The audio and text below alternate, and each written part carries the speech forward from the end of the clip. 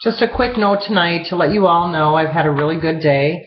We went shopping. I bought a couple new hats, um, some new tops, a cute little dress, and some flip-flop flip-flop sandals. Uh, everything is going pretty well. I'm not nauseated. Um, taking all my meds as prescribed. Ate a nice lunch sandwich.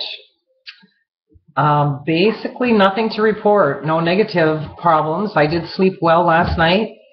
Only got up once to use the restroom. Um, here's one of my new little hats I bought today. Really cute. I like it a lot.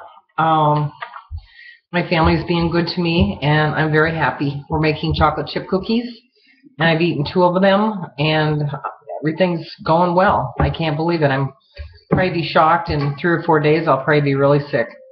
I hope not, but just for the time being, I'm doing really well, and wanted to report that in and say hello and thanks for following me. So talk to you later. Thank you. Bye.